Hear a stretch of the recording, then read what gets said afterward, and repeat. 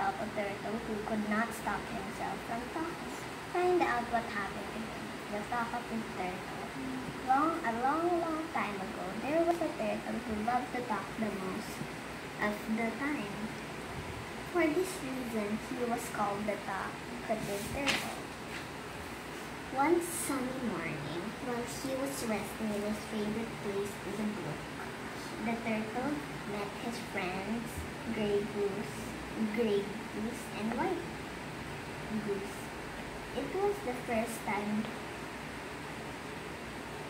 for them to meet for a long, long time. And they had fun while sharing stories with one another. After a while, the two geese bid goodbye to the turtle. Please bring me along with you, the turtle, said the turtle. I want to see where you live. Louder, please. Louder, please. It's impossible. You do not have wings and you cannot fly, Grey Goose said. The turtle replied in a sad voice, Yes, that is true. I do not have wings and I cannot fly. Wait, I have an idea, said White We can bring you along if you follow strictly what we shall tell you to do. White Goose got a stick and friend turtle bite the middle part of the stick. Goose wrote, I will bite the end of the stick. When we fly, we can bring you up in the sky, but you have to remember not to talk or else you will fall down in the ground. Everyone agreed. So they flew and the turtle was so happy while he was up.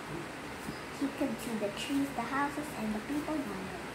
Soon they passed along a playground where some children were playing. Look, there is a turtle up in the air. He's flying, said one child. Yes, a flying turtle looks silly, said another. Ha ha ha. They laughed, the children. The turtle got angry. It opened its mouth to talk you.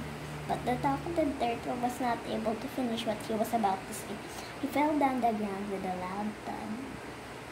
Grey Goose and White Goose just shook their heads as they looked at poor turtle. They said he did not obey strictly what we told him. The end. What did you learn about that story? Uh, to not be talkative.